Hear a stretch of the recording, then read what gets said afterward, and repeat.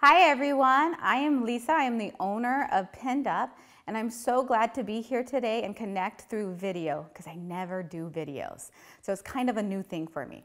So since this is my first video, I thought it was only fitting to talk about the bra fittings that I provide and what to expect when you book a bra fitting with me. So similar to a personal stylist, I will arrive to your home because they're done in your home and that comfort with a rack or maybe a few more than one rack. Um, but before the fitting, I will ask you some questions about what you like about your bras, what you don't like about your bras, what you want, and what you're looking for. It'll help me to determine what to bring to the fitting.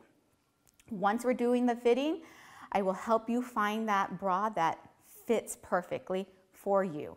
And it will teach you some tricks and tips about how to get it to fit perfectly and continue to be satisfied with it after I leave.